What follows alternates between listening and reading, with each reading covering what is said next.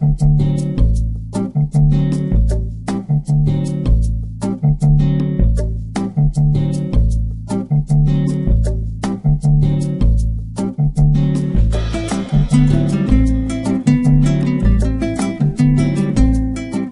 Hello, welcome to our Firebird Database Administrator training, covering the topics presented at IBExpert's Firebird School, held by Holger Klempt and Jason Chapman as part of the International Firebird Conference 2007. We'll continue in this session by looking at multi-generational architecture and analysing Firebird's database statistics.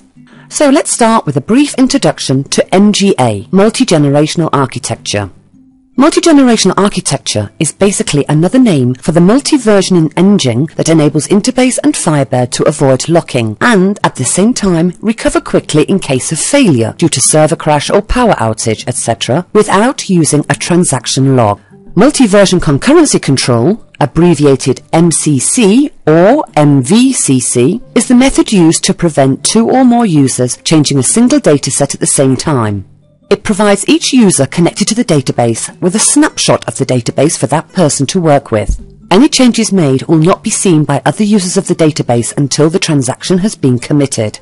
Firebird and Interbase implement this architecture using record versions. For example, in DBase, when a dataset is altered, DBase overwrites the old version of the dataset with the new version in the database file. The old version of the dataset is lost forever.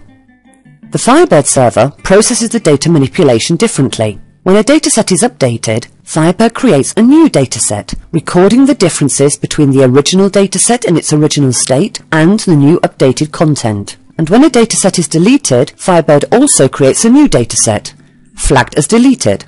For the simple reason, if a mistake has been made and the transaction needs to be rolled back, the dataset is fully recovered. These record versions are maintained by Firebird parallel to the original datasets until a commit or rollback has been executed or until the server is restarted. When Firebird restarts, it rolls back all active transactions. These record versions are not just saved for open transactions. For example, if I am user A and I open a dataset, make an amendment, but do not commit or roll back, I leave the transaction open. User B comes along, makes an update and commits it. User C makes an update and commits that. These record versions that users B and C have made cannot be cleared by the garbage collection because theoretically user A could roll back his transaction which may affect user B and C's transactions. Such open transactions will inevitably lead to a slower database performance if they are never closed. The system only slows down when one of the clients starts a transaction and doesn't end it properly. We'll take a look at the effects of this later when we look at the log file. Let's now take a look at database statistics. Database statistics are an invaluable insight to what is actually happening on the server. Firebird statistics should be evaluated regularly and kept, because when things do go wrong, it's immensely helpful to be able to see what they look like when things went right. The IBExpert database statistics display the following information for all tables in the database, both as a log script and in tabular form. Table name, location, pages, size in bytes, slots, fill in percent, DP usage percent, and fill distribution. An optimal page fill is around 80%. For each table, the indices statistics include depth, leaf buckets, nodes, average data length, and fill distribution. Further information regarding these statistics can be found in the IBExpert Services menu Documentation chapter Database Statistics. For larger databases, you can take the statistics at regular intervals and keep them for reference to give you a realistic picture of your database. You'll be able to observe any gradual degradation. This is a preemptive measure that allows you to discern and solve the problem before it becomes too bad. Oldest transaction. That's the value you can see here. This is the transaction number that hasn't yet been garbage collected.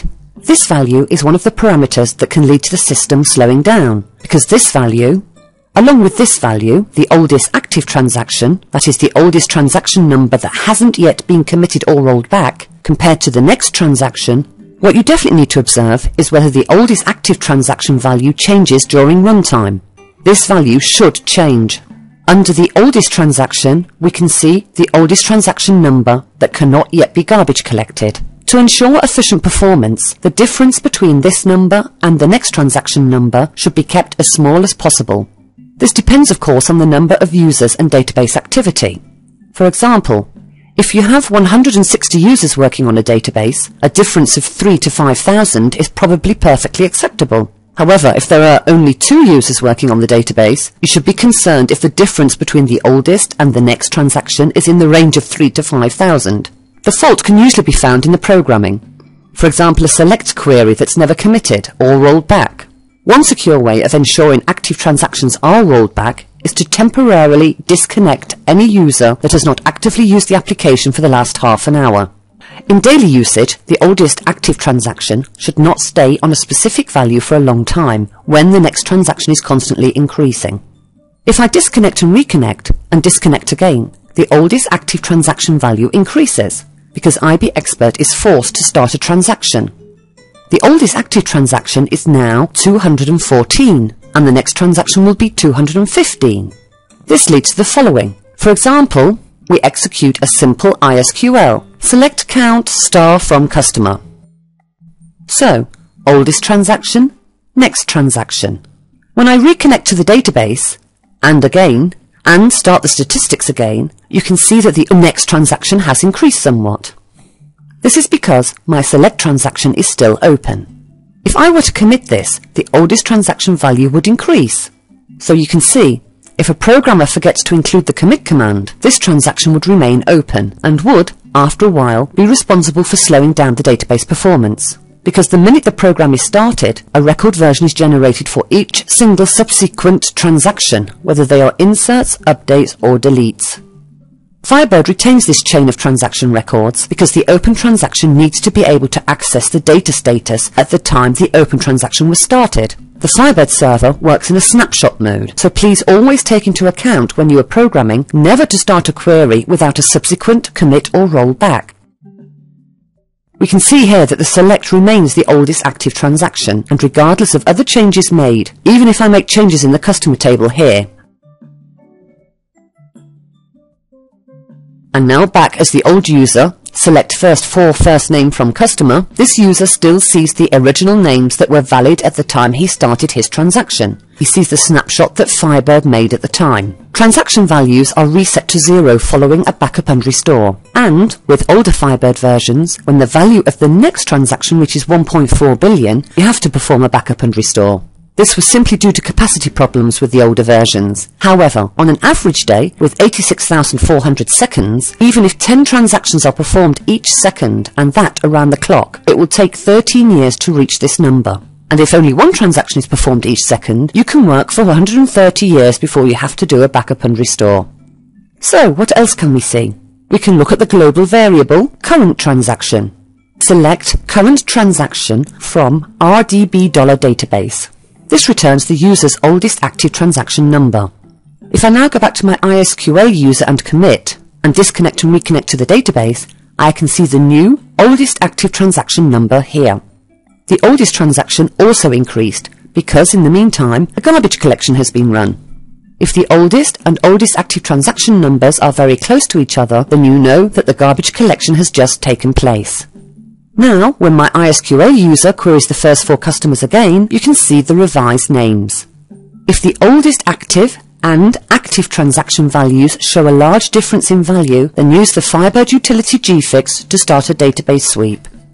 This explicitly runs a garbage collection, setting the oldest transaction at a higher level if possible. So, that was our introduction to Firebird's multi-generational architecture. A transcript of this tutorial can be downloaded by all IBExpert registered full version holders from the customer download area at www.ibexpert.com. All topics presented here are also documented in detail on our website. We hope this tutorial has been of help to you and look forward to publishing our next tutorial in our series for database administrators. Goodbye for now and thank you from all of us at IBExpert.